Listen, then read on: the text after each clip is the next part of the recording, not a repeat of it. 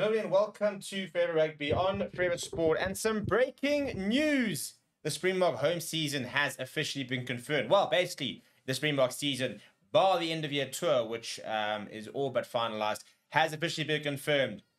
We welcome Ireland to our shores, as well as two New Zealand home games next year, as well as a first ever game against Portugal, as well as another game back at Mbombela Stadium. What a blockbuster home test schedule it is going to be. And we're in for an absolutely brilliant, brilliant, brilliant, brilliant year of Springbok rugby next year. And I yeah, cannot wait. And I think it's the perfect blend of top, top opposition, as well as a little bit of growing the game uh, in terms of seeing a, a new side that we haven't ever played against before, which should be quite fun. So before we talk about exactly what the schedule is and who's going to play where, please do smash a like on the video. Please do subscribe to the channel as well. Right, so what has been confirmed? A two-match test series against Ireland, which will take place on Saturday the 6th of July, Saturday the 13th of July.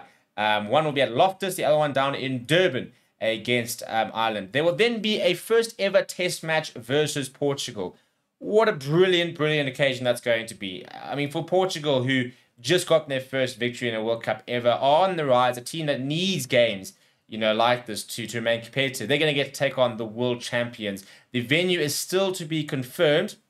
I would wager that um, that uh, will be the uh, the stadium in question, given the fact that if you look at the stadiums that have been confirmed, that is not currently uh, there. So I would imagine that will be where it is, but that has not been confirmed just yet. We will then have, as part of the Rugby Championship, two back-to-back games against the All Blacks at home. One will be at Emirates Airline Park on the 31st of August, the next on the 7th of September uh, at the DHL Stadium in Cape Town. Our final home game of the year will be on the 28th of September, which will see us take on Argentina at the Mbombela Stadium uh, in uh, in Mbombela. Uh, in terms of away matches, they will face Australia twice away from home, and uh, they will also then uh, play one match against Argentina in Argentina. I imagine that will be in August and September. And uh, before, obviously, then we move, we go out to Europe in November. So that is the test schedule.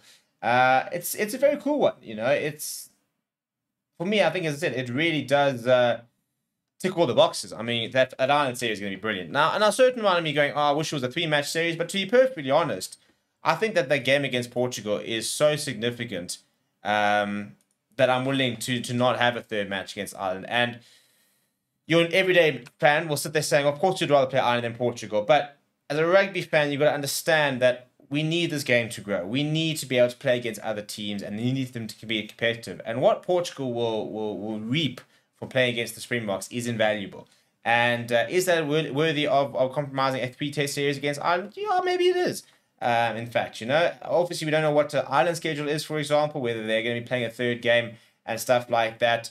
I'd really like to see a couple of SAA games sort of thrown into the mix, which would be really cool to sort of see a, a different bunch of players get opportunities. But um, yeah, I mean, the number one side in the world for the last couple of years, Ireland coming down to South Africa to play the current world champions in their backyard is going to be a lot of fun, as well as two games against New Zealand, the old foe.